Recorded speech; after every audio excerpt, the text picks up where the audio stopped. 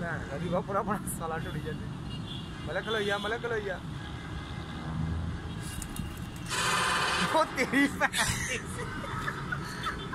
ਵਾਹ ਜੀ ਚੈੱਕ ਕਰ ਸਕਦੇ ਹੋ ਤੁਸੀਂ ਸ਼ਾਮ ਦੇ ਟਾਈਮ ਫੜਿਆ ਕਬੂਤਰ ਤੇ ਕਬੂਤਰ ਉੱਡਿਆ ਏ।